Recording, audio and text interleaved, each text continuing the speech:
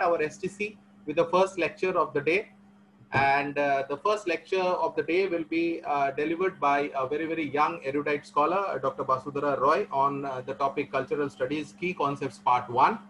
And uh, uh, Basudhara, as you all know, some of you all know, and for those who are new today, joinees, she has been an excellent scholar right from her college days. Uh, she has been awarded with gold medals both uh, in her under, undergraduate and postgraduate level in Banaras Hindu University and she is also a recipient of Junior Research Fellowship uh, for her academic excellence.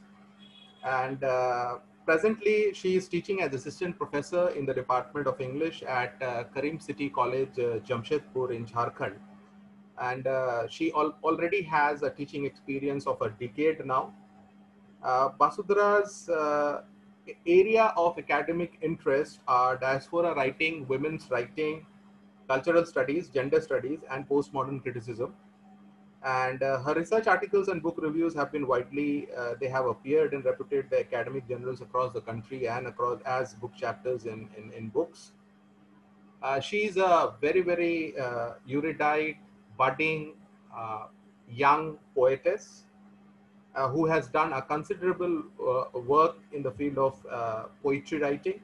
The testimony to that fact is uh, her recently published book of poems uh, titled Moon in My Teacup by uh, the famous uh, Kolkata Writers uh, Workshop in 2019, which has received a very, very uh, positive response from the world of academia. She also has credit to one more monograph to her credit. that monograph, that book's title, which she published in 2019 with Atlantic Publisher is Migrations of Hope, a study of the short fiction of three Indian American uh, writers.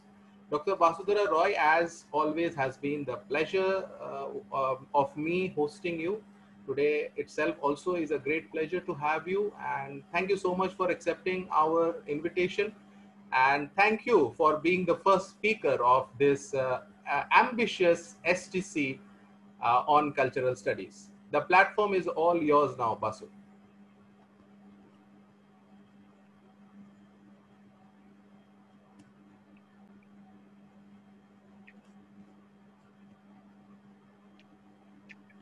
you, thank you, thank you, Sekada. And uh, this is wonderful uh, coming here uh, again for uh, your Daath Voyage journal uh, and for your uh, wonderful participants. So thank you, thank you for having me here.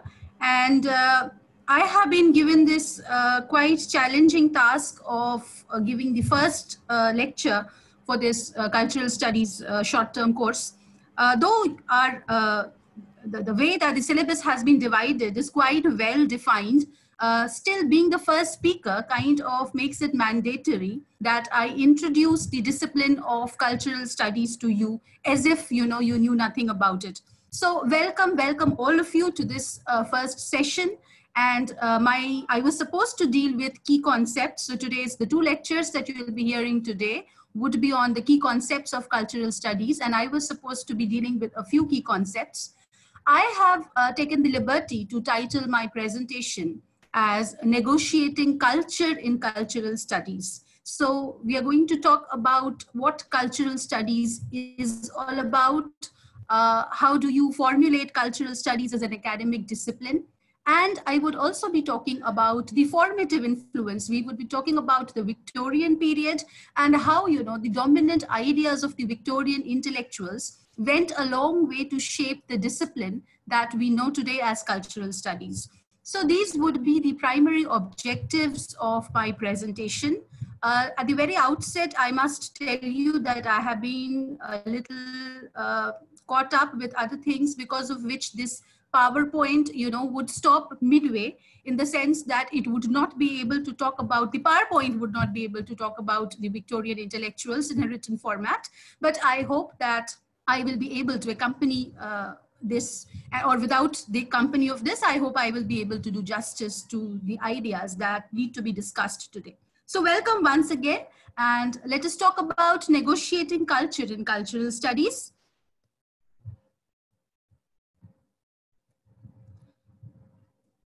Yes. So what exactly is cultural studies? Now, this is a term we see that has gained wide popularity and almost everybody would have it in his or her academic CV that they enjoy cultural studies, they prefer cultural studies, they are specialized in cultural studies. Now, it is very easy to say that we are specialists in cultural studies because you realize that cultural studies is an umbrella, not even an umbrella term, I would call it a blanket term, you know. Cultural studies is a blanket term that uh, applies itself to a host of critical practices. So let us see. We see that cultural studies is uh, the, the, the, this definition particularly I have taken from uh, Peter Child's Dictionary of Literary Terms by Peter Child and Roger Fowler, the Routledge Dictionary of Literary Terms. What I liked about the I, uh, about this definition is that they call cultural studies a broad and a generally unhelpful appellation given to an amorphous body of critical practices, right? So the terms that I would like to draw your attention to would be unhelpful. Cultural studies as a term is quite unhelpful because it does not tell us exactly what to expect. So when you compare cultural criticism to terms like feminist criticism or Marxist criticism or psychoanalytic criticism, you know what to expect. So you know that feminist criticism is going to talk about gender. You know that Marxist criticism is going to talk about class, that psychoanalyst uh, criticism will talk about, uh, you know, the mind uh, you realize that you are clueless when you enter the world of cultural studies. So if this if something you know is going to give you a cultural studies perspective on something else you really do not know what to expect. So to begin with let me emphasize the fact that cultural studies is a blanket term rather unhelpful, which applies, which extends to an amorphous body of critical practices. Amorphous, not at all well defined. And the notion is that it concerns itself with culture. And that would, of course, bring us later to the idea of what culture is. As a field that emerged during the late uh, 1950s across the English speaking world, and we find that it tends to gravitate towards what we understand as expressions of popular culture. So you realize that the term popular culture, you know, and this is what today I will try to uh, bring about through my discussion is that popular culture began as a pejorative term. It began as a derogatory term, uh, particularly if you take into account the Victorian period, if you take into account the idea of Arnold and then T.S. Eliot, F.R. Leavis, you realize that popular culture was a term that applied to the culture of the masses, the masses which Matthew Arnold called the Philistines. However, cultural studies has taken up this uh, pejorative term uh, and it has empowered it by applying it to the galaxy of uh, practices that we today call cultural. So cult cultural studies has, as I said, gravitated towards expressions of popular culture, general culture, the culture of the common people, the culture of the masses, or of the Philistines in Arnold's term. Though cultural studies frequently emerged out of academic departments of English literature, it has often been very, very critical of the practice in academia. So cultural studies, though it has emerged out of academia, it is quite critical of academic practices. It is quite critical of the ideas which go into the shaping of what the academia calls the literary canon or what the academia calls, you know, uh, culture, culture within inverted commas. So though you see uh, it is the English departments across the world which have been the crucible of the development and formation of the key ideas of cultural studies, we realize that cultural studies has forever retained a critical stance towards these academic ideas and these academic programs uh, which try to establish a conservative dominance on what they decide as the literary canon. Where English literature explicitly suggested, uh, you know, an ideologically driven hierarchy of cultural production. Cultural studies had focused attention on the mass culture. The key word here would be mass culture, as I said, the popular culture or the mass culture. So whereas, you know, the English departments in various uh, colleges would focus, would try to talk about uh, a cultural hierarchy of, you know, which work is at the top and which practices at the top and which works should be read. Uh, the idea of sublimity, the idea of, uh, you know, impersonality. So all these ideas uh, have been built and popularized by academia. Cultural studies within academia has tried to embrace a minority perspective.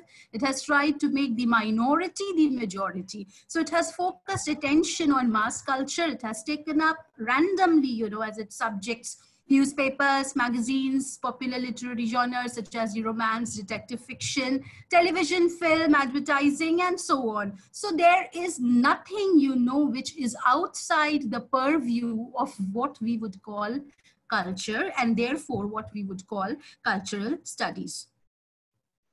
Uh, so you realize that uh, culture is a broad term. It has extended, uh, it, it means many things, but broadly cultural studies identified culture as the reflection of a society's idiosyncratic character. Every society, every population mass, every social group would have, you know, an idiosyncratic set of characteristics that would serve to define it. And this had been initially the target and the focus of cultural studies to take up those uh, ideas or those patterns of behavior that reflected the society's idiosyncratic character. And this would include all forms of cultural as well as subcultural expressions. Today, cultural studies is an exciting field. that has become the rage amongst progressives. And in general, you know, everything today is uh, replaced by the idea of culture. So it has made its presence felt in the academic world, in all disciplines across academia, whether uh, it is in the humanities or the social sciences, even in the sciences and technologies. It is, as I said, an ubiquitous term. It is everywhere and everybody everywhere is talking about cultural studies today. Now, let us look at the word cultural studies. Let us try to split it into two parts. So culture, cultural and studies. So if cultural studies, uh, like a term, as a term, you know, if it could be considered as a kin of other terms like management studies and gender studies and communication studies, uh, it would mean that studies indicates a broad field of inquiry on a subject, right? So uh, gender studies would study gender, business studies would study business. Similarly, cultural studies then, if studies is a broad term of inquiry, then cultural studies would study what? Culture, of course. This is what we have been uh, driving at. And this would inevitably then bring us to the question of what is culture? Now, let us take into account the fact at this very uh, point of time, let us remember that uh, what is culture has never been a very neutral question. What is culture has, I repeat, never been a neutral question because it will depend upon who is asking the question. It will also depend upon to whom the question is being asked. So what is culture? Who has the right to identify what is culture?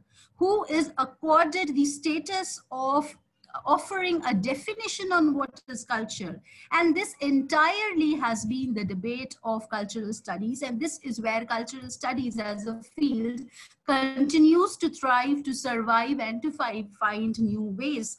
Because culture has never been a transparent term and uh, the definitions of culture have never been you know simply definitions because you realize that in every definition there is a sense of hierarchy built into things. There is a sense of legitimation built into things. So who has the authority you know to legitimize a definition uh, will always remain a important area of concern within cultural studies. So to go ahead with what is culture, so culture as a concept is notorious. It has been notorious for its ambiguity. It's very, very ambiguous. It's very difficult to concretely point our finger uh, at this and say this or this alone is culture or that these, these, these, these are culture. It is impossible to come to an exhaustive list. Of course, culture is not one thing.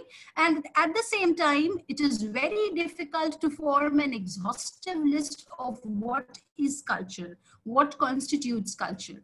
So for various anthropologists, culture uh, has always referred to social behavior. So some anthropologists will say that culture is social behavior, whereas there are others who will say that it is not behavior at all. It is an abstraction from behavior. So debates have always existed, they continue to exist. Let us take into account a few definitions of culture, a few popular and short, simple definitions that I randomly picked up there is uh, there is no uh, there, uh, there is no uh, theoretical element at work in my choice.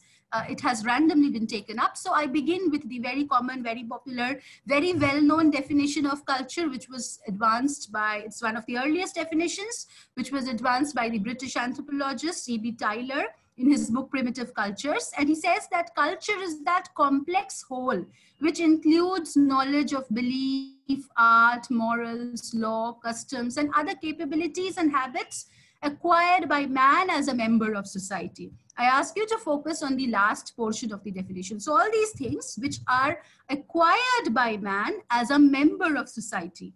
Two things stand out here. First is that culture is acquired. It is not inherited. It is not built into our genes. It is something that we acquire. So this acquisition would naturally be from the environment. So if you are reminded of, you know, the Tempest and you're reminded of Prospero and the way that they tried to culture Caliban and in their, uh, as they saw it, their culturing of Caliban was defeated because Caliban's inherent nature had something in that which would not take the print of civilization. That was what Prospero said. So you realize that this nature nurture debate has forever existed we can locate it as uh, far back as Shakespeare and even further back when you go to Plato and Aristotle, it has always been there. So my idea is to is to uh, just remind you that uh, culture, when we are talking about culture, we are talking about something which is acquired, something that we are not born with, something which is not inherent uh, to our um, biological framework or to our genetic composition. Again, culture is something which is acquired as a member of society. This social dimension is also very important when we, when we talk about culture. So culture is not or cannot be understood by the practices of a single individual. A single individual would not, you know, be understood as a cultural unit. So the unit of culture has to be the society and it is the individual as a member of the society uh, from whom, you know, we can gather cultural data. So it is important that we take these two things into account. So for example, if we were to study, you know, Rudyard Kipling's uh, Mowgli, and if we were to look at Mowgli, and if we were to try to understand Mowgli's culture, uh, we would be very hard put to apply to human society or apply to Mowgli what we have garnered from human societies or human behavior. Because Mowgli lives in a different culture altogether. He may be a man, he may be a boy, but he belongs to a different culture altogether. And that is uh, again a variety of cultures. In in general we will call it the jungle culture you know. And repeatedly in the disney uh, adaptations you will always they will always say jungle ka kanoon hmm, this is the law of the jungle so in general you could contrast this with the jungle culture but then within the jungle also you will have these different groups which have their own subcultures so it is important that uh, we understand culture as something which is acquired and something which is contextual, something which is absorbed as uh, being a member of a larger society. So it is the individual within society who can always be considered as a cultural unit. Uh, we move ahead and there is the American anthropologist Margaret Mead who says that culture is the learned behavior of a, uh, the learned, sorry, not learned, it's the learned behavior of a society or subgroup. So culture is the learned behavior. Again, you know, acquired, learned. This is the word that you will find repeated often again in definitions of culture. So it is not something that we are born with. It is something that we learn. And naturally, when the idea of acquisition or learning comes in, the idea of the model also comes in Whom do you learn from? Who is your model? Who will teach you what you should learn? Who will decide what is to be learned? These are all questions that are continuously, you know, playing hide and seek behind these definitions. And the fact that cultural studies is so plural, it emerges from these various responses to these various questions. So if culture is learned behavior, whom are we learning from? Uh, what are we learning is secondary, whom are we learning from is primary. And entirely we find that within cultural studies, there has been a debate about establishing a center for culture. So, uh, and cultural studies is against the notion of the center. So all these ideas are here and they are uh, conflicting with one another to give us very rich and very, uh, you know, uh, unlimited, unlimited possibilities for cultural studies. There is Clifford Geertz who says that culture is simply the ensemble of the stories that we tell ourselves about ourselves. So Clifford Geertz is certainly coming in later, later than Tylor and Mead. And look at the way he defines culture. So it is the stories that we tell ourselves about ourselves. Again, look at the plurality here. It's ourselves, it's not ourself, it is selves. So we, we assume that there is a society to talk to, there is a community or a group at least to talk to. So it is the stories that we tell ourselves as a community, and these are stories about ourselves. So here there is no notion of learning. It is a notion of communication. It is a notion of knowing, understanding oneself, and again the idea of the story, which indicates that culture is a narrative. It is a story finally that we tell ourselves, and there is no legitimacy behind it. Nobody can verify your story, and nobody has the authority to verify your story and say what is right and what is wrong. So it is simply a story, it is simply a narrative, which was my idea in including this last definition. Uh, we go ahead and so one cursory glance at these definitions will suffice. It will be sufficient to convey to you the impression that culture means everything. There is nothing outside the ambit or the purview of culture. So culture means everything, what we eat, what we drink, the way we talk, what we wear, uh, how we communicate with whom, uh, the patterns in which we live, the patterns of housing, the patterns of leisure, everything is covered by culture. And cultural studies would thereby imply the study of everything. So if culture is everything, cultural studies would mean the study of everything. Cultural studies, thus, it must be understood, does not speak with one voice and it cannot be spoken with one voice. I want to harp upon this that you cannot expect one singular, uh, you know, one singular face for cultural studies, one singular voice for cultural studies, because it is not single. It is, it exists in plurality, and therefore it has to be spoken about, it has to be discussed, it has to be represented in all its plurality. Not surprisingly, therefore, cultural studies does not have a clearly defined subject area. Its starting point is a very broad and a very inclusive notion of culture that is used to describe and convey a whole range of practices. In fact, there are many critics who have pointed out that the term, you know, cultural studies, if we look at it from the structuralist point of view, and we believe that every term is a signifier and it has a signified. So you realize that the cultural, the term cultural studies has no signified, it has no referent uh, to which we can point and say that this is cultural studies. No, uh, there are a host of things which would always qualify and which have always qualified for coming under this blanket term. So it is a continuously expanding discipline that emerges from a range of interdisciplinary and continually changing ideas.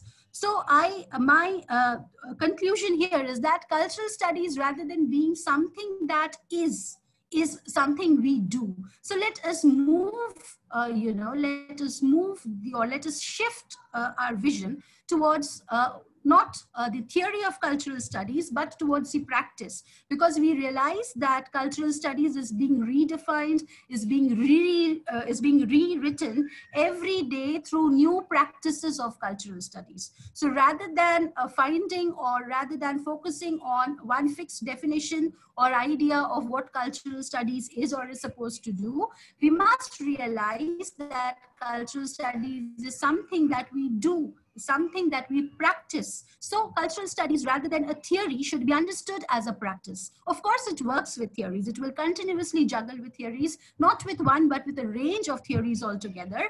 And uh, this juggling, this mixing and matching of theories that we bring into the project of doing cultural studies will lead to further widenings of the framework with the result that you will have added new dimensions to cultural studies with every new study that you do. So uh, I would uh, stop this idea at this point that cultural studies is something that we do rather than something that is exists predefined.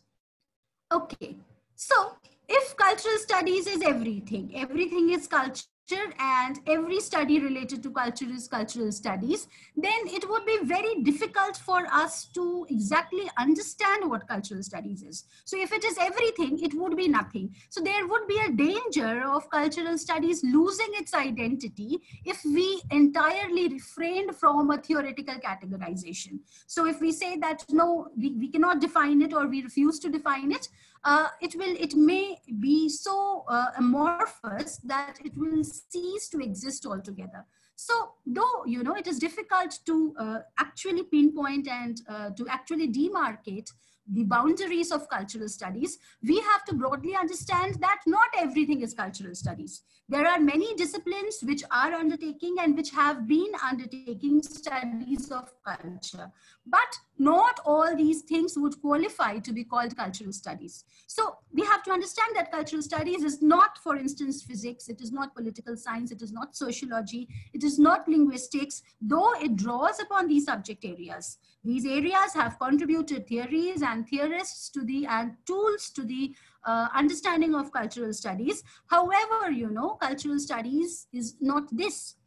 Indeed, there must be, as Stuart Hall argues, something in cultural studies that differentiates it from other subjects. What is it in cultural studies that would differentiate, that would set it apart from other disciplines which of course brings us to ask what broadly are the concerns of cultural studies. We can only talk about it broadly uh, at a bird's eye view because uh, as I said, it is so multiple, it is so plural, it is such a blanket term that we cannot do an intricate analysis. But broadly, all cultural theorists would agree that they have certain ideas which they want to bring out in their study of culture. So fine, they are studying culture, fine that everything is culture, but what exactly are cultural critics doing which is different from what other critics are doing?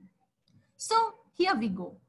Number one, I believe that the most significant difference uh, that cultural studies or let us, if let us not call it difference, let us call it a characteristic or idea, the central, one of the central ideas within cultural studies is that it seeks to establish connections between culture and politics. It is not studying culture merely for the sake of it. It is not studying culture merely to amass objective knowledge uh, to amass, uh, you know, theoretical knowledge. It is studying culture for practical purposes and its aim is to link the study of culture to the matters of politics or cultural politics. So we have to understand that cultural studies seeks to maintain a connection between matters of power and cultural politics. It's a body of theory generated by thinkers who regard the production of theoretical knowledge as a political practice. So this knowledge is not being acquired for its own sake. They are not studying a particular community or a particular cultural artifact or a particular cultural process or a cultural institution merely because they want objective knowledge. No, they are doing it so that they can understand, you know, how the knowledge of this particular cultural practice will enable them to talk about the politics of culture prevailing in society as a whole. How does this culture negotiate with politics and how can politics negotiate with culture? So here, knowledge is never a neutral or objective phenomenon. It is always a matter of positionality. That is another idea that we must understand when we are doing cultural studies. We are talking about intersection. Uh, we are talking about interdisciplinary ideas. We are also talking about positionality because everybody, every onlooker upon culture would view cultural processes from his or her own position. So it is not only about perspective. So far in literary theory, we had been harping upon perspective. So here we talk about position. What position are you in?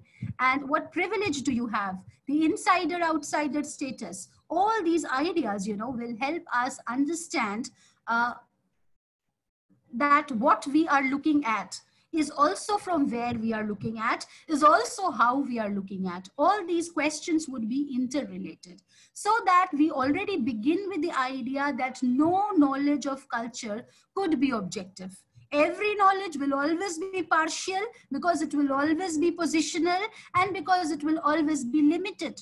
So we begin with the assumption that cultural studies, the study of culture is not undertaken by cultural studies purely uh, because we want to be connoisseurs of knowledge. No, because we are interested in the politics of culture, in how culture expresses itself through politics and how politics expresses itself through culture.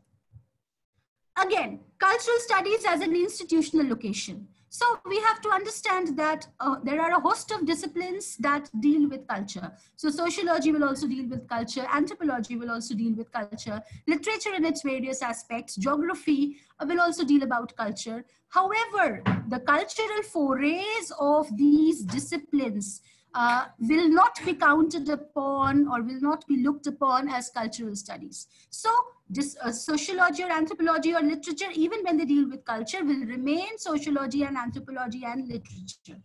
In order for it to become cultural studies, you know, it has to adopt a different set of tools and methodologies. So cultural studies, we have to understand, is a discursive formation. It has its own institutional location. It is a regulated way of speaking about objects, and it will always, you know, move around certain key concepts, ideas, concerns, which is why this starting formative lecture on key concepts becomes important. We must know what we are looking for when we are dealing with cultural studies.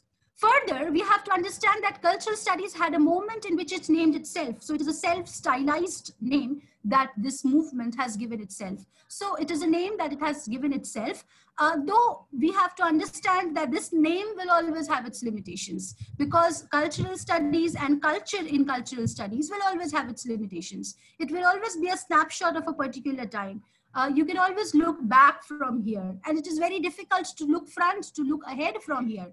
So uh, culture is an ever evolving project. It, it has been evolving and it will hopefully continue to evolve and thrive. So though what we call cultural studies is, is talking about, it, it is about looking at the present, as also the past, it is equally about looking at the future. So we have to understand that though cultural studies is a very broad, is a very amorphous, is a blanket term, not everything is cultural studies. It has its institutional location and therefore its own theoretical tools, practices, and motives. So broadly, if we try to understand uh, the disciplinary boundaries of cultural studies, what would be the disciplinary boundaries? So cultural studies is an interdisciplinary field in which perspectives from different disciplines can be selectively drawn to examine the relationship between culture and power. So this is the first thing that we said we are doing. We are not looking at culture just for the sake of culture itself. We are looking at culture as an expression of power and as an entanglement and investment in power. So to, in order to do this, we can draw from a range of interdisciplinary perspectives, selectively, of course, in order to establish our point of view. It is concerned with all those practices, institutional systems of classification through which there is inculcated in a population particular values, competencies, routine of life, uh, habits, conduct. So cultural studies is about politics and how does it examine politics and power? It is examining it through culture. And what is culture? So culture is a set of practices, institutions, systems, which have emerged, you know, from the values and ideas of a people, of a society, of a group. The forms of power that cultural studies explores are diverse. So it can look at various categories of power, various diversifications of power. So gender, race, class, colonialism, etc. would all be vital categories of power that cultural studies can be concerned with. It is here to explore the connections between these forms of power and to develop ways of thinking about culture and power that are utilized by agents in the pursuit of change. The prime institutional sites for cultural studies are uh, higher education institutions and cultural studies has always emerged, has mostly emerged from these academic disciplines. Nevertheless, it tries to forge connections outside the academia also with social, political, uh, economic movements. And it has also, you know, retained a very, very critical stance towards uh, academic projects and academic, uh, you know, academic ways in which knowledge is theorized. So academic theorizations of knowledge, though uh, cultural studies emerges from academia, it has retained its critical stance towards academic theorizations. Again, the Center for Contemporary Cultural Studies. Now, though cultural studies has always been very reluctant, uh, you know, to have an institutional legitimation, yet we have to understand that the formation and the establishment of the Contemporary Cultural Studies Center in the 1960s at Birmingham University was very crucial for the development of cultural studies. Since that time, you know, it has established itself as a proper discipline, as a formal discipline. And this institution has done a lot to propagate the ideas and the practices of cultural studies. And today, today we have cultural studies departments in almost uh, in, in every corner of the world. Uh, and you have these broad groups in USA, in Australia, Africa, America, Europe, and India also, which are looking at the formations of culture in their own ways, according to their own uh, geographical histories and their cultural histories. So uh, though cultural studies has diversified and every group will have its own way of identifying with the movement, yet we realize that somehow the British establishment of uh, this contemporary cultural studies, this establishment went a long way to promote cultural studies as a theoretical field. Now we come to the key concepts in cultural studies. Uh, so these are concepts that we are very well aware of because of our engagement with critical theory. So uh, the first idea that cultural studies certainly makes use of is the idea of language and culture as being signifying systems. So we are aware that uh, structuralism looks upon things as, uh, as you know as sign systems. So it it it takes up the idea of uh, language and culture as being part of the semiotic system of signs. And they believe that language is not just a neutral medium through which you express meaning uh, and th there are these constructions and these formations within language. So cultural studies has argued uh, that language is not a neutral medium and uh, there is, uh, you know, this, this, it, is, it has doubted the possibility of a knowledge which exists outside language. Rather, it is constitutive of those very meanings and knowledge uh, and language gives meaning to material objects, social practices. So uh, basically, cultural studies borrows heavily from the work of Saussure and Derrida, uh, and it, it uses these ideas to talk about culture in the same way that Saussure and Derrida talked about language, and to establish, you know, culture as a science system, and uh, to study the science system for its power politics. This has been one central concern uh, within cultural studies. The second is representation. Cultural studies talks about the idea of representation. What is the representation? Uh, who is representing? And what are the ways in which these representations are taking place? So a good deal of cultural studies is centered on questions of representation. That is how the world is socially constructed and represented to us in various ways. Indeed, the central strand of cultural studies can be understood as this idea of representation as a signifying practice. So this requires us to explore the textual generation of meaning. It demands us to investigate the various ways in which meaning is produced in various con contexts. And representation is something that is examined, as I said, broadly in, in, in every cultural context. So whether it is literature or cinema or theater or advertisement or, uh, you know, religious rituals, uh, the practice of cultural studies to understand and to codify uh, representation can, uh, can go ahead, can move on in any field.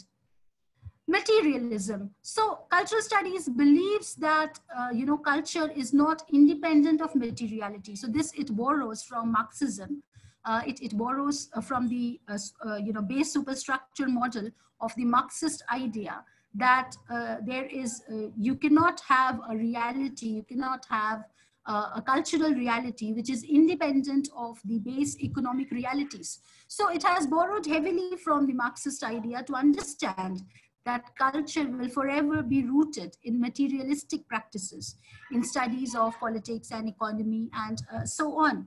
And uh, so this discipline is concerned with power and the distribution of economic and social resources. So cultural studies in accordance with Marxism has tried to understand this, who owns and who controls cultural production.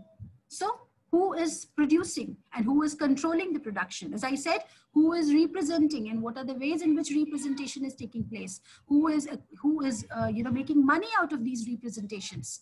The consequences of patterns of ownership and control for contours of the cultural landscape. So uh, materialism, the, the materialist definition or understanding of culture is very basic to cultural studies. It understands that culture does not exist in vacuum. It does not exist apart from the multiple economic and social processes which underlie it. And therefore, any study of culture cannot take place without taking into account this materialistic world underneath it. At the same time, uh, it refuses, you know, Marxism's reductionism. So whereas Marxism tries to reduce everything to class, they will bring everything usual studies has refused to do. So it accepts the materialistic principle of uh, Marx or of Marxism, let us say, but it, it, it tries to move away from the reductionist stance of Marxism. So it says that, you know, though uh, culture will have always its specific materialistic investment, yet uh, we cannot reduce it to economics alone. Culture will always and always be more than economics. So in particular, cultural studies has waged a battle against economic reductionism. That is the attitude that uh, you can explain a cultural text by referring it to its place in the production process. So this is something that cultural studies has refused. So for cultural studies, the processes of political economy do not determine the meanings of the text or their appropriate audiences. So uh, the non-reductionism of cultural studies insists that other things apart from uh, class, you know, that is gender, sexuality, race, all these things matter uh, in a cultural production. So it is not just class and class alone, though economic interests are certainly very significant. So materialism combined with non-reductionism again articulation. So culture is is it, it does not just exist it has to be articulated. What does articulation mean? So articulation means expression.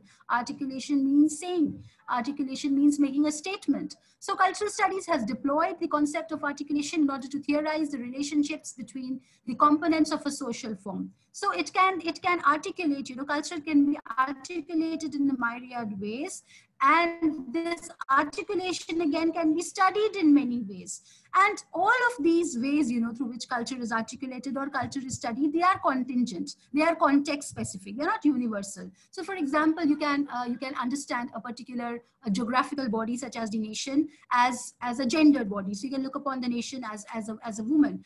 Uh, you can similarly you know employ other uh, metaphors which would cross uh, theoretical disciplines. So all these things can be done with cultural studies uh, because it is open you know to being articulated to being implicated to being generated uh, in new ways. So the concept of articulation is also discussing the relationship uh, between culture and political economy and it refuses to accept you know that culture is determined by any one thing. So it, it is non-reductive as we have mentioned. It, it insists that culture is not determined by any one thing. Uh, we move ahead uh, power. Now this is something that we have been discussing from the very beginning and uh, so cultural studies is of course concerned about power it is one of the significant areas uh, significant concerns within cultural studies that it agrees on the centrality of power uh, within the discipline. So for most cultural study writers, power is regarded as pervading every level of socio-economic political relationships. Power is not simply the glue that holds a society together, but it is also a very coercive force which subordinates one set of people to another. And uh, it, it is also understood in terms of processes that generate and enable any form of social relationship or order. So we have to understand that the entire process of subordination, uh, the process of hegemony, the, process, the, the, the, idea of ideology, hegemony would all come under the study of power. And these are ideas that we are conversant with as such. And this would be the point where my PPT will, uh, you know, end and it will uh, leave you. But uh, fortunately, I'm not going to leave you. So uh, cultural studies also concerns itself as uh, mentioned at the beginning with popular culture. So it, it believes that popular culture is the ground where, you know, the consent has to be won, where, you know, people have to respond to culture uh, within the sphere, within the crucible of popular culture. So cultural studies has commonly understood popular culture to be the ground on which this consent is to be won or lost as a way of grasping the interplay of power and consent to related uh, ideas repeatedly deployed in cultural studies. Uh, just second. So the idea of ideology, hegemony will all be related and these are terms that we know and we will also discuss in the process. And I'm sure uh, in, in the subsequent lectures also, these are terms that will be coming into play. And because my presentation will end here, I would like you to have a glimpse of the uh, books that would be very good introductory books on cultural studies. So these are five books that I have used myself uh, for my students also in my various classes. And these are wonderful books. You can get hold of them uh, and that would be good. And uh, this is where the presentation will end. However, however, I will, I will stop sharing my screen so that I can talk to all of you. Uh, yes. So what we have to understand, so this, this uh, in the PPT, what I was trying to do was I was trying to outline, you know, uh, cultural studies as a discipline. We were trying to see what is meant by cultural studies and uh, uh, how do we try to define culture and what do we do with culture within cultural studies. Now, when we look at, uh, you know, when we look at the discipline, you realize that culture will have, there, there is no point at which we can say that the study of culture as such begins. So there is no specific point where we can say that this is where it begins. Because if we mention a definite beginning, if we chalk out something as definite as a beginning, you know, we will be ruling out the other beginnings. We will be ruling out history. So we cannot do that. However, you know, for cultural studies, it is, uh, we consider it good or we consider it fertile to begin from the Victorian period onwards. Now, when you look at the Victorian period, you certainly realize that the Victorian age is the age when uh, modernism begins to set in although you know and there is a lot of fuzziness about these definitions. Uh, romanticism and uh, you know victorian and modern. There is such a lot of fuzziness that now in history we are trying to talk about moving away from the age model moving away from the chronological time model so when we look at it culturally, in a cultural spirit, you realize that all the basic ideas that were to fuel modernism have already, you know, begun to take shape in the Victorian period. The Victorian period, which is uh, just a second, just a second, if there is a sound problem.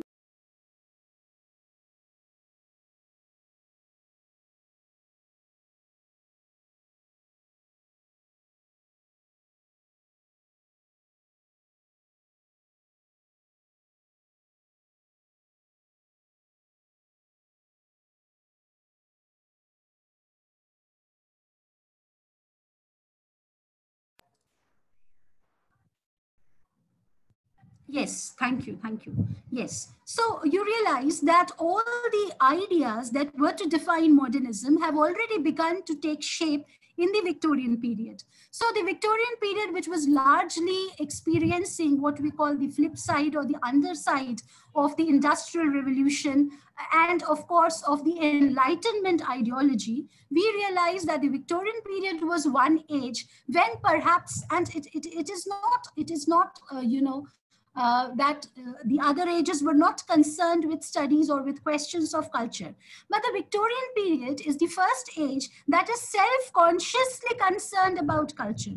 Now, when you try to analyze, when you try to look at the uh, output of the Victorian writers, you will realize that the word culture features so many times in the writings of the Victorians. So it is not as if the other ages were not culture conscious, but it is almost as if, you know, that the Victorians were self-consciously conscious of culture.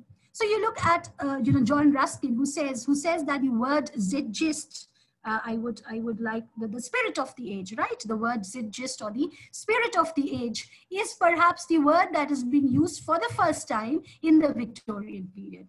That is uh, what John Ruskin says. So John Ruskin says that I believe that uh, the spirit of the age is a term that has never been used before. Now, it, it is not as if it has never been used before, but you realize that it is the Victorian who is very self-conscious of the term. It is in the Victorian period that for the first time there is a search to uh, you know, to find out something which would unite people. Because already you realize that the Victorian age begins with the split from religion. So religion is not there for the Victorians, or it, it is not as credibly there as it was for the ages before them. So Darwin's Origin of the Species has been published, the idea of evolution has come in, and all these things, though they will be challenged later, you realize that the Victorian is for the first time in a decentered universe. All that decent centering and all that thrownness that Heidegger will talk of, you realize that the Victorian is already experiencing. So if there is no religion, religion, something which had, you know, uh, which had uh, put together people in a group, which had been a cohesive factor, which had been what you call the glue to society, you realize that that religious community is breaking because of the advent of science, because of Darwin, whatever you call it, or because it was intended to happen that way. So automatically when the glue of religion begins to weaken, you are looking for other ways in order to forge unions. You are looking for other ways to study and look at, look at yourself. So the 18th century, the age of enlightenment had been the age when, you know, man would look at himself. So know thyself, presume not God to scan. The proper study of mankind is man. So Alexander Pope has already exhorted you in the 18th century to look at yourself. And the 19th century is trying to look at itself. And because it is trying to look at itself, you see it is aware of all the ills that are flourishing in society. So Dickens will talk about ills, and uh, the term used by John Ruskin was spirit of the age, what we call Zeitgeist, the spirit of the age. Uh, yes, so you realize that uh, the Victorian society is indeed looking at itself. Uh, you know, you realize that all these ideas, the idea of uh, the, the, reform agitations, the idea for the extend, extending of uh, suffrage, the idea that uh, people, the labor force should unite under Marx. So the Victorian society is such a rich crucible for ideas of protest and resistance to come forward. So you realize that there is a splitting up of the world into so many diverse factions. And within it, there are people like Browning and uh, Tennyson and Arnold who are trying to come into grips with things. How do you forge connections between all this fragmentation that has already taken place? So fragmentation does not begin with the 19th century and with the First World War. Fragmentation already begins in the Victorian period. And in the face of such fragmentation, what do people do? How do people forge unions? And it is this search to forge a union that leads uh, a critic like Matthew Arnold, a poet and a critic, to give all the stages to poetry. So Arnold says that fine that we do not have religion, we still have poetry, and therefore, you know, poetry and literature being the best of all that has been thought and said in the world will be the uh, Bible to the people. It will help people decide and take all decisions, you know, uh, which religion had hitherto helped us uh, take. So religion could very well be supplanted by literature. And he raises literature to the level of religion. And then if literature and religion are to be equated, then certainly the born boundaries and borders of literature will need as much policing as the borders of religion. So the borders of literature have to be policed. And if the borders of literature have to be policed, it means that we make quite clear-cut statements about what is good literature, what is not. Who is the writer and who is, as Matthew Arnold says, the charlatan. We cannot allow anybody to enter into the realm of literature because now literature has a very, very special and sacred function to perform in Victorian society. It is supposed to replace religion. It is supposed to replace God. So if literature is supposed to be as serious and as elevated as that, its boundaries have to be policed. How do you police its boundaries? Automatically, you have to form clear-cut distinctions between what is good writing and what is not.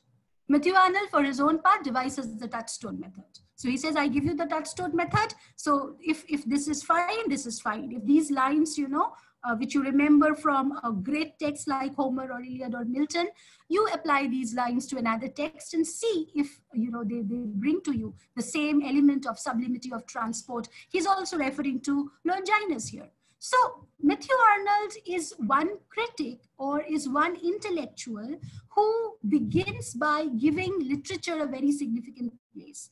And from literature, he moves on to a broader area that he begins to call culture. And in Culture and Anarchy, then Matthew Arnold talks about how, you know, all this anarchy is being created in society because the various groups the the workers and the women the, the woman question though not directly mentioned by arnold it is there lurking in the background because people were not very happy with the so-called woman question of the victorian period so they traced all these anarchic elements the revolts the protests this demand for rights to the breaking of the prior culture the former culture which had existed before you know uh, industrialization. So they harp back to a pre-industrialized age. So the pre-industrialized age becomes for them the utopia where things had been fine, where things had been preserved. And now as a result of industrialization, people are leading very fragmented lives. Marx is already speaking about dehumanization, how uh, you know the, the fragmentation is taking place because of the division of labor. People are becoming automated, the alienation effect. So all these ideas are in the air when Matthew Arnold is formulating his ideas in Culture and Anarchy.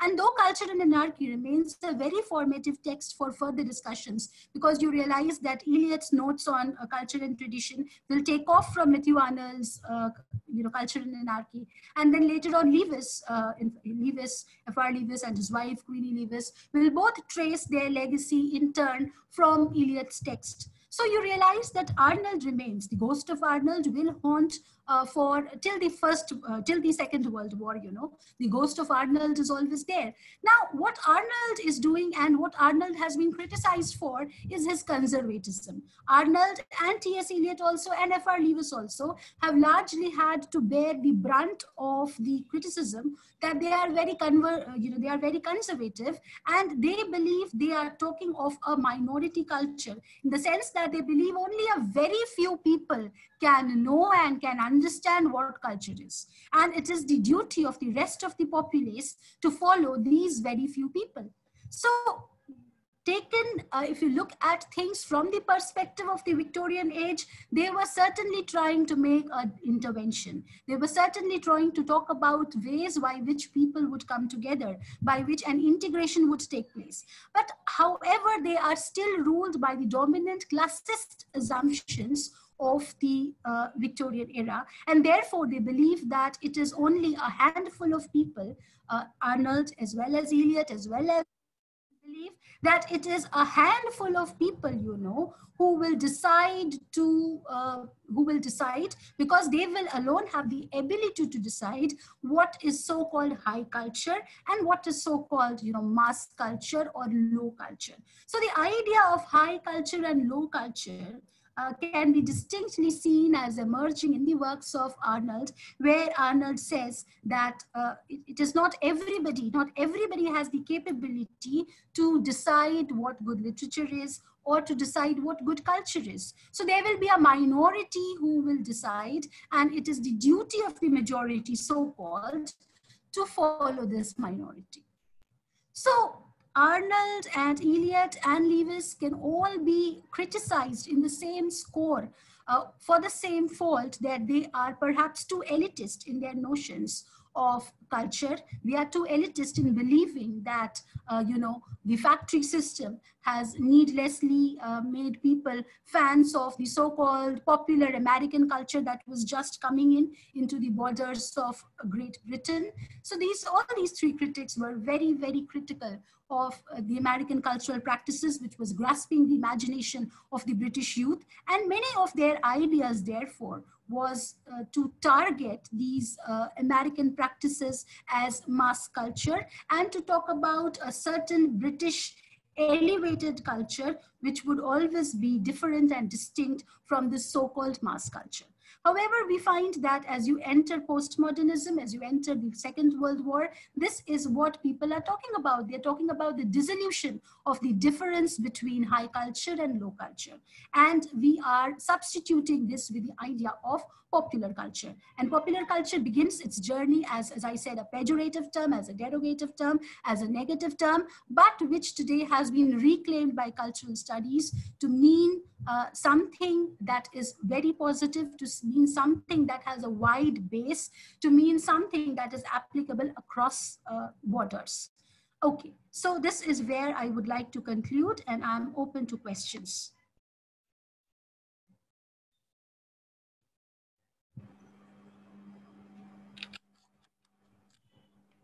Thank you, Basu, once again uh, for for your uh, very very important uh, and uh, interesting delusion uh, deliberations.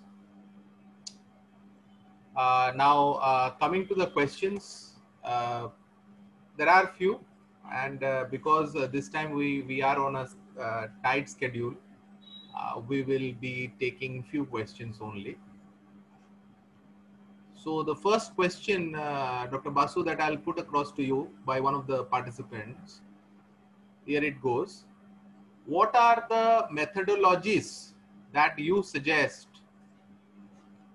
through which cultural studies can shed its epistemic entrapments and become more performative?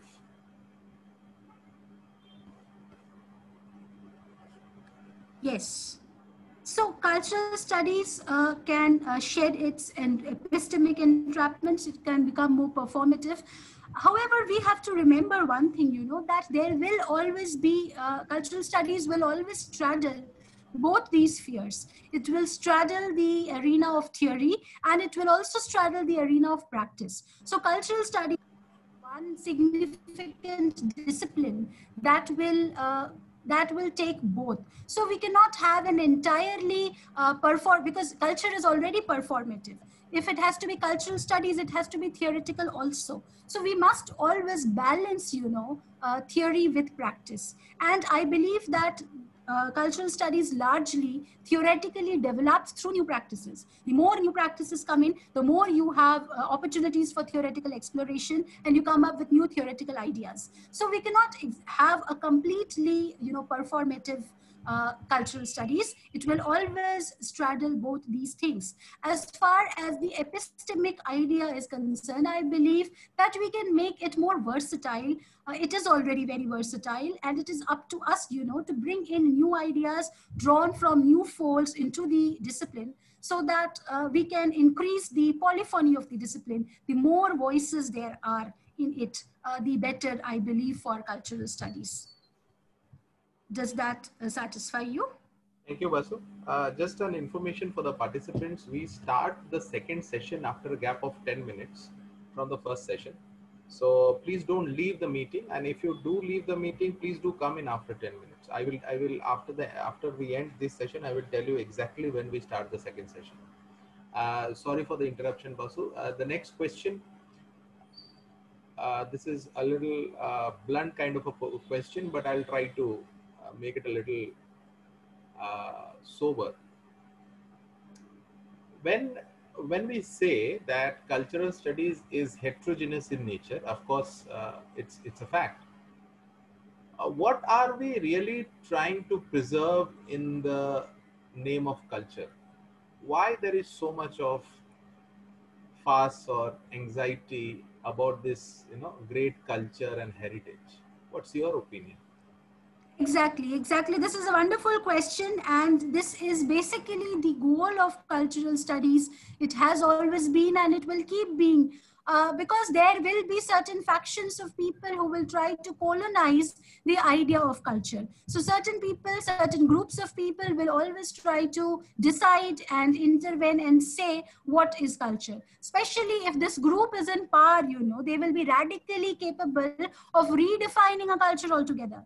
Now, just to give you an example, look at the way in which the holiday list, the university holiday list has been redefined and is also in the process of being redefined. So you will realize that gradually all minority festivals are being removed from the holiday list and the majority festivals are there. So what happens to an onlooker who is looking at the holiday list of an institution or of, yes, say an institution. So I look at the holiday list of an institution and I see that these are the festivals for which you know the college or the authority has decided to close down.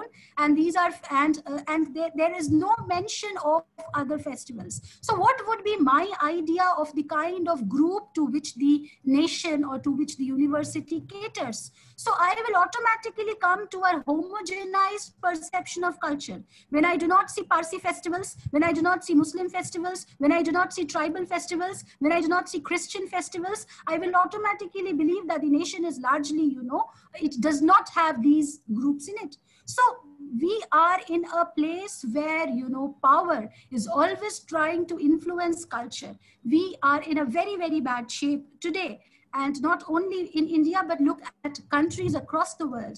Everywhere you will find that power blocks are trying to redefine culture. And this is what had happened in the past also. So some invader comes along and decides to sabotage a particular monument because they believe that it does not suit their idea of culture. Or the, the Constantinople, the fall of Constantinople happened because the Turks thought that, okay, this had nothing to do with their culture. So we are continuously trying to lay a claim and say, this is my culture, this is your culture and we are trying to police cultural expressions not only largely in the nation. Look at the family. Look at the way gender roles are treated within the family. So if if there is a, a, a boy who would rather you know uh, like to dress up like a girl and put lipstick and have long hair they are subject to ridicule because it is not supposed to be in their culture for a boy to behave like this. If a man in a certain culture does not beat up his wife uh, it, it is not considered to be the sign of a good husband. So a good husband good is not morally good. Good is strong, capable. So a strong man has to assert his patriarchy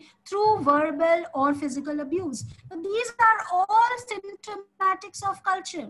And we are trying to reshape this culture. So we talk of a patriarchal culture, we talk of a religious culture. So we can look at culture from diverse points. And, at, and from every point that we look at culture, we will realize that there is always a police, you know, which tries to define what is culture, what is good culture, what is legitimate and what is not legitimate. We are supposed to challenge this. We have to make culture a place which is open for everyone, where everybody is allowed to eat what they want, allowed to wear what they want, allowed to go wherever they want, to have the same opportunities as others. This is what we are trying to do. Look at the way food, you know, is being tampered with. So certain cuisines are going out of fashion. They are going out of restaurants. They are going out of, uh, you know, menu cards, and they will entirely lead to the disappearance of particular groups and communities. Does that clarify you, Rumi? Ruma? I would also like to uh, put across to the participants that uh, what our resource person is uh, is, is, meaning by uh, uh, by certain uh, kinds of festivals going out. please don't take into please don't have an approach of you know looking into only one particular religion or one particular caste. She's talking about the tribal festivals also because she hails from a tribal land. She is presently uh, at the heart of a tribal uh, land you know. And there are a lot many very very rich tribal cultures also uh, which should have a space uh, in, in, in not only the holiday list in uh, the in the in the greater imagination no yes also you know also I would like to add, Shefali, that don't look at how things stand today. Look at also the policies which are in the offing, the things which are planned, you know, for the future. So uh, even when you are planning to do something, it does not matter that you have done it already. Even when you are planning to do it, it shows that you have a particular notion of culture with which you are proceeding right. So it is not just about what you have today. It is also about what you may not have tomorrow. Because these things i i i i, I am telling them because they are already in the offing. And if you look up if you search the net you will find reasonable evidence uh, to back my claim.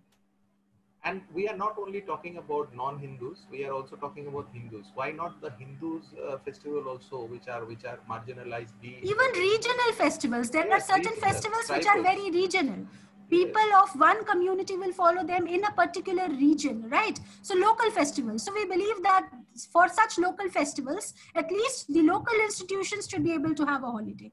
So uh, it, it, it is just an example that i'm trying to give you. And of course you will find data to back this i'm sure. Have a look. Uh, the next question, Basu, uh, what is the difference between representation and articulation? Yes, representation and articulation are both, you know, concepts that you will come across uh, in cultural studies as such. Representation is talking about how things are represented. For example, uh, like look, when we talk about the representation of women in media, now, representation again will be divided into two parts. There would be a mainstream representation. So if I say that generally women tend to be represented as, uh, you know, as, as objects, as commodities, you will say that no, in so and so film or in so and so ad, uh, this does not take place. But we are also talking about generality. Look at things generally. So you realize that, uh, you know, in general, for example, the other day I was also telling someone that look at the advertisement for educational institutions. This is the time of admissions. So almost every university will have its banner, its poster, its brochure, its prospectus up uh, either uh, virtually or even on hoardings in, at various corners in the city and look at the students which are represented in the university. So the student, the general ideal representation of the student is usually a female. It is usually a female student. It is usually a very hip hop female, you know. She will be dressed in Western clothes. She will have a Western hairstyle, dyed hair, and she will be 34, 20, 36, 24, 36, that kind of a figure or a zero figure woman. And she would be carrying a few books the number of women in the poster or the number of female students in the poster will far outnumber the number of male students. This is for sure. So why do we use women, you know, to advertise things? So you have, even if it is the, uh, you know, if it is the ad for, uh, you know, a, a male deodorant or a shaving cream or a car or a sofa or furniture, you know, which are all unisexual products, you will still have a woman in the advertisement. Why? It is because we are in a society where we find that women are treated as objects and the advertising scenario also takes benefit of that.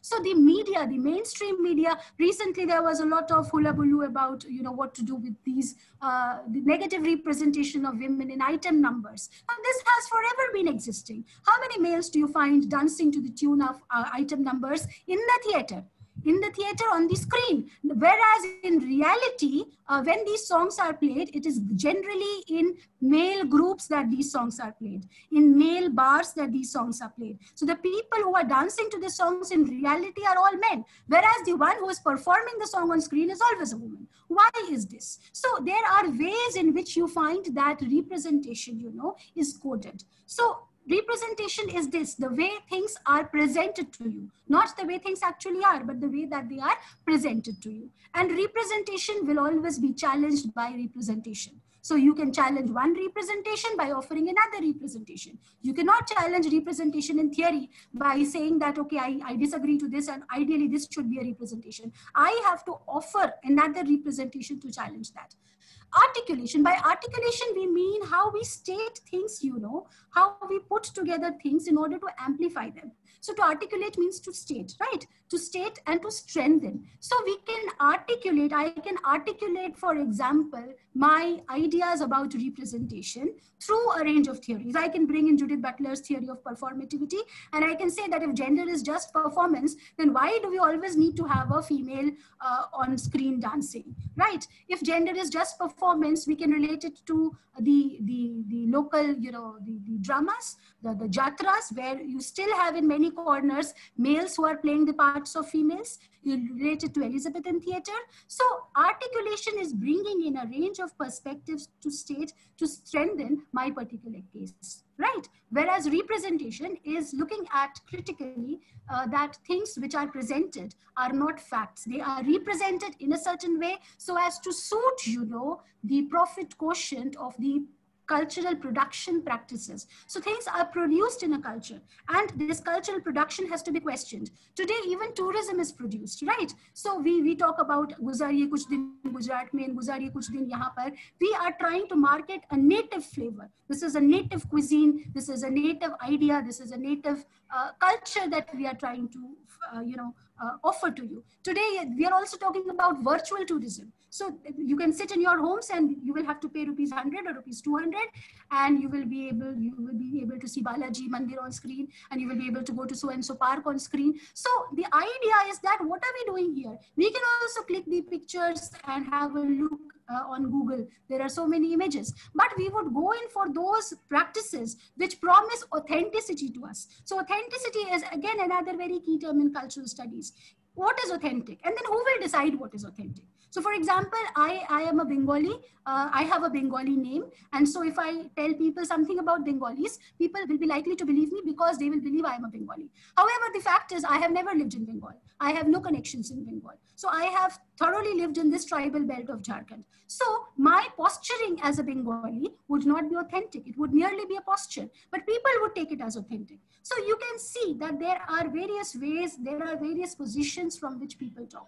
And when we are talking about representation, we are talking about how things are coming across. When we are talking about articulation, we are talking about how to bring more ideas in order to represent this idea in a better way. Does it, uh, is it helpful? Absolutely okay. Uh, and uh, uh very, very, uh, you know, uh, rational and reasonable answers to the questions that have been put across. Basu, thank you once again. Although you are a very important and significant member of Team Daath Voyage, thank you once again for sparing your time, preparing so meticulously, and coming back with a very, very uh, well-researched presentation. So, on behalf of Team Daath Voyage, it was an absolute pleasure once again to host you, Basu, and uh, see you very soon uh, in some other role uh, that uh, we are planning. Thank you. Thank you so much. Thank you. It was a pleasure to. It's always a pleasure to be here. Thank you Thank so you. much. Thank you, Sekada. Thank, Thank you, Hariom. Uh, please, uh, please do take care. And uh, yeah, you are free to leave the meeting uh, if you are, or sure. please, please join and uh, be in the meeting for the next lecture I if you are if you are uh, willing. Yes, yes. You can take a break and come I back. I will uh, be here. Uh, thank you, dear participants, Definitely. for joining, and thank you, Dr. Basu, once again uh, from Team. Thank you. Thank you. yes.